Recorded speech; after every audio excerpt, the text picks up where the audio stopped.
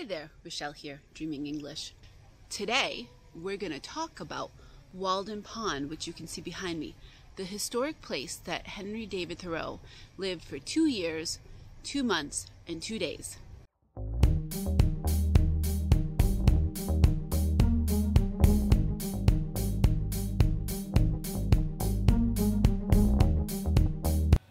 I went to the woods because I wished to live deliberately, to front only the essential facts of life, and to see if I could not learn what it had to teach, and not, and not, when I came to die, discover that I had not lived.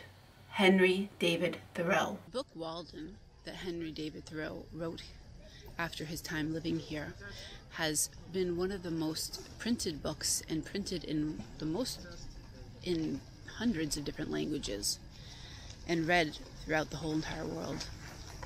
We're here, it's November 7th, and it's actually so warm. We had snow on the ground last week, but it's so warm that people are swimming. So it's kind of really crazy. I kind of think I should have brought my bathing suit. There's some people that are out on kayaks and on boats and there are people that are swimming in the water.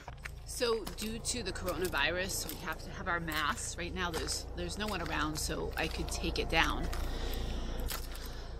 And the trail is one way only. So people can't go that way. That way we can keep our distance from other people. Behind me there's a one-way sign so people can only go one way on this path so that way people can stay and keep their social distances and they should wear their masks when there's other when there's other people around. So there's also another sign there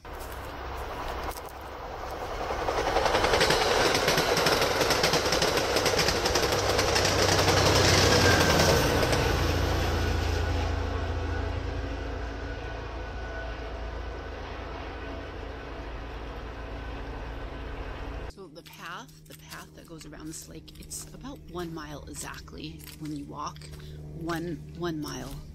So when there are other people around, I need to put this mask on to keep me safe and potentially to keep other people safe. This year, we also we didn't get a lot of rain. And right now, this part that I'm walking on, it usually is covered with water but because we didn't get much rain, you can pretty much walk around the whole lake and walk on the beach. Walk on the beach. That is usually underwater. So right now I've left the trail and I'm walking along the beach. I was thinking that maybe I should have brought my bathing suit, but I actually put my feet in the water and it's very, very cold. So, no, I would not want to swim. There are people, I'm not sure if you can see someone over there that is swimming, but they usually wear wetsuits when they come here this time of year. And I've seen people even swimming in the winter when there's still when there's some ice. They swim all summer long and they swim around the lake. Like I said, it's about one mile around the lake. So this place, Walden, is one of the places that I go and my family go to kind of be one with nature and to kind of leave our problems behind. And in the visitor center, there's a sign that says, Where is your Walden? Where's the place that you go to get away from your problems? Let us know in the comments below.